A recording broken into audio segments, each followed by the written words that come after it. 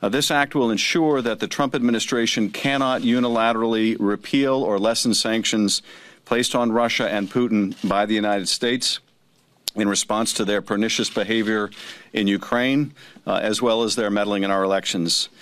I'm dismayed that such a step is even necessary. These sanctions enjoyed bipartisan support when they were put in place by President Obama, and lifting them without a clear change in Russia's behavior would be nothing more than an appeasement of Putin's destabilizing agenda.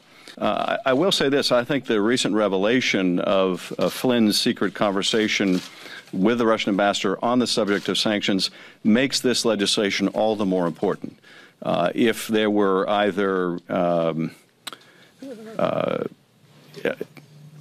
condoned uh, discussions that Flynn had, or he was acting as a free agent.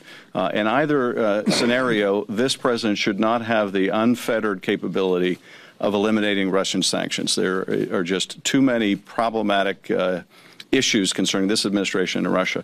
And finally, there certainly seems to have been, or still is, a cozy relationship between the president, the administration, and the Russians. That's very, very disconcerting. Uh, clearly, uh, there are matters of national security import that need to be kept uh, close, uh, need to be kept uh, from public discourse because of the damage that it might cause to the United States of America and to our security.